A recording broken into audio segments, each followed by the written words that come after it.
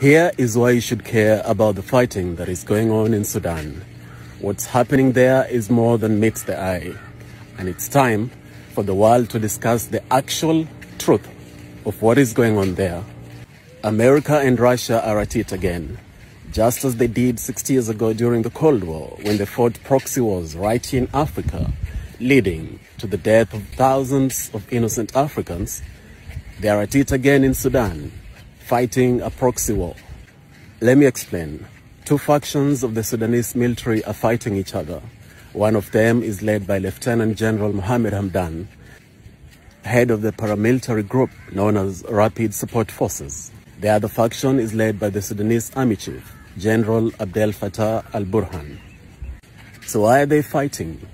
This is where Russia and USA come into the picture.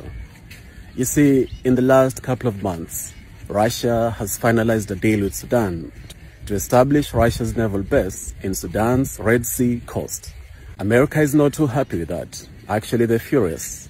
America's ambassador to Sudan, John Godfrey, expressly warned Sudan not to seal that deal with Russia, but they're going ahead and doing just that.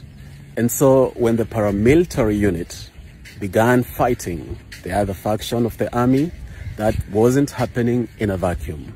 The big problem is that you're not going to hear this in the mainstream media. Neither are you going to hear a lot of African governments voicing this, which is very unfortunate because Africa must learn to speak its truth and stand on this truth because truth will set you free.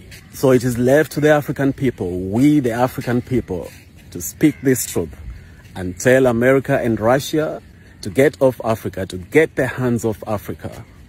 The days of the Cold War, the days of the shenanigans of the Cold War are completely over and they cannot fight proxy wars in Africa at the expense of innocent African lives. That has to stop. The fighting in Sudan must stop. The puppet masters must stop their evil, diabolic games.